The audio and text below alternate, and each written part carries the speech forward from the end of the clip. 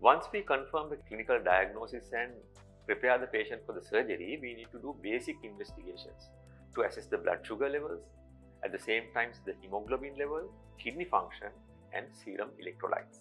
If a patient has hypertension or any other comorbidities, a cardiologist will assess the patient and check the heart whether he is fit for surgery. At the same time, if the patient is having diabetes, we need to control sugars and optimize the patient for the surgery. Once all these things are done, the patient is ready for surgery.